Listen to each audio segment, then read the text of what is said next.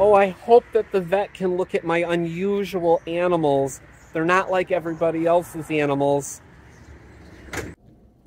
Hi, I was hoping that your vet could take a look at some of my unusual animals. Um, here's a, an otter.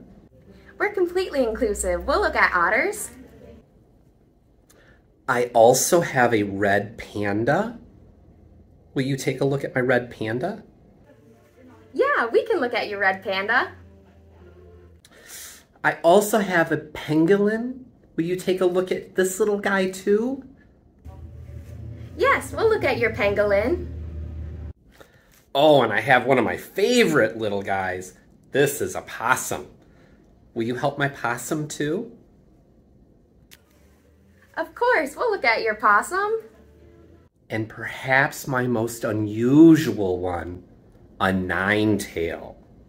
Will you take a look at my nine-tail? Yeah, we're inclusive. We'll look at your nine tails. Phew! Thank goodness. Since the Richland Animal Hospital is so inclusive, all of my friends will be taken care of.